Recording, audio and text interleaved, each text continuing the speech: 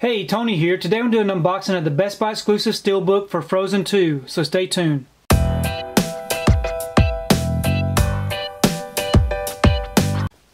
So today I picked up my copy of Frozen 2. This is a Best Buy exclusive steelbook. It does come with a 4K, the Blu-ray, and the digital code.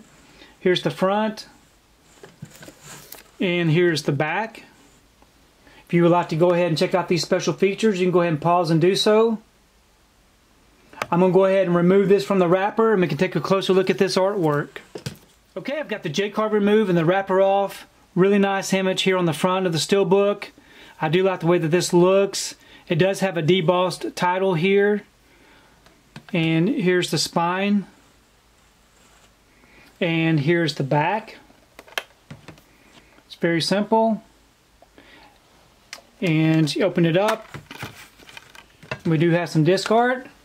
So in the front here we do have our 4K disc. And in the back we have our Blu-ray disc.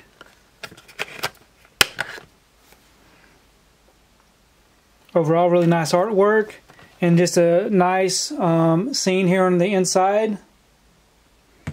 So overall a very nice looking simple steelbook.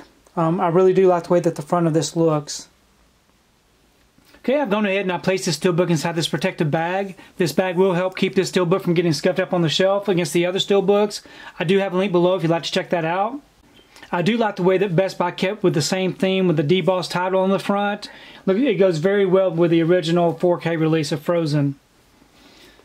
Now some of the other releases I picked up for Frozen 2 is I got the Target exclusive um, Storybook Edition and I also picked up the Walmart exclusive with the lenticular slipcover.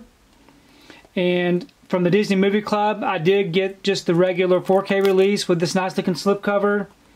And then Target had a two movie collection that came that comes with Frozen and Frozen 2. So I was able to pick that one Please up. leave me a comment below. Let me know which version of Frozen 2 that you picked up. Did you get the regular 4K release or were you able to pick up the Steelbook? Or maybe you chose the Target exclusive. Um, I did have a hard time getting the Frozen 2 Steelbook. I did order it back when it was um, put on the Best Buy website for store pickup. And I did receive notification on Tuesday on release day that it was not available at the store that I chose. So I did have to go 50 miles out of the way to pick this particular Steelbook up. Um, I probably wouldn't have gotten it if it wasn't for the Knives Out Steelbook that I needed to pick up also. So I went ahead and just was able to pick both of these up.